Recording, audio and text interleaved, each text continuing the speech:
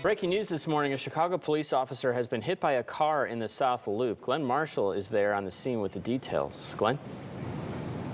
Yeah, good morning, guys. Now, that officer is in fair condition at Northwestern Hospital right now after being hit by this Dodge Charger that you're seeing right here in the middle of the street. Police are still investigating this situation, but they did tell us this collision happened around 222 this morning here at the intersection of Ida B. Wells and Clark. Police are telling us an officer was directing traffic when a male driver of this Dodge Charger failed to stop, and hitting the officer. The driver of the Dodge Charger, along with a male passenger, were placed into custody. The officer was transported to Northwestern Hospital with non non-life-threatening injuries. Now, we did speak to someone who said people were out still celebrating the Mexican Day, Independence Day, I should say. He came out after he heard the crash.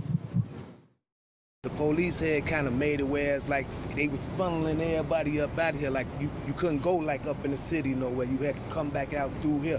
I don't know exactly how this happened because it was saying like everybody, like it was all over with, like everything was over.